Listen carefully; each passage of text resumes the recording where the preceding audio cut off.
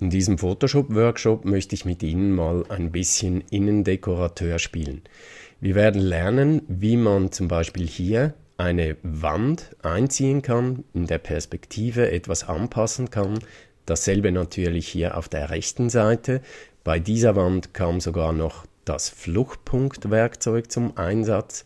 Wir werden mit Ebenenmasken auswahlen und auch mit Licht- und Schattenspiel über Blendenmodi arbeiten. Natürlich könnte man diesen Raum auch mit Farbflächen und so weiter hinterlegen. Wichtig einfach, damit es nicht so plastisch ausschaut, muss man unbedingt diese Licht- und Schattenspiele von einem Schwarz-Weiß-Bild übernehmen. Aber wie gesagt, genau im Detail in dem kommenden Workshop filmen.